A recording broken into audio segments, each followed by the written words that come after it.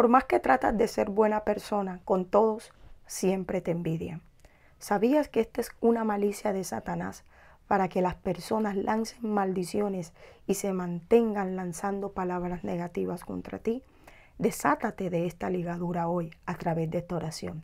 Repite conmigo, Señor Jesús, en este momento me acerco a ti creyendo que soy libre de toda atadura de envidia sobre mi vida. Tú diste tu vida en la cruz del Calvario para hacerme libre por completo.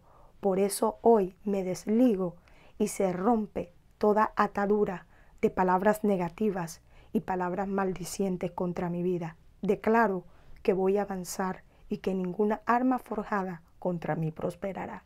En el nombre de Jesús. Amén y amén. Si quieres que siga orando por ti, déjame tu nombre en uno de los comentarios.